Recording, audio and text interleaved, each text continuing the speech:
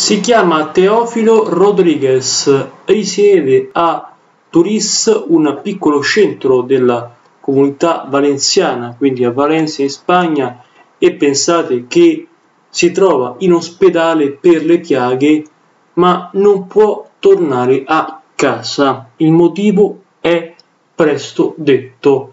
Infatti è da attribuire al fatto che l'uomo in questione pesa ben 350 kg e non ci sono dei mezzi in grado di trasportare l'uomo in questione. In buona sostanza Spagna non ha un camion, uno strumento, un mezzo di trasporto adeguato che consenta lo spostamento a livello corpale di questo abnorme uomo che ha 34 anni di età.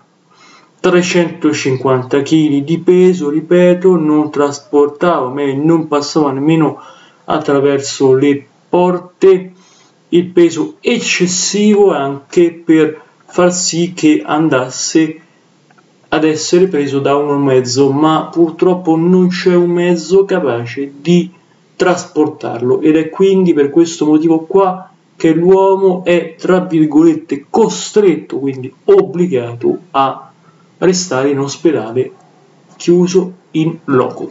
Grazie, grazie di vivo cuore per l'ascolto in primis, per la visione in secundis, un salutone al prossimo video.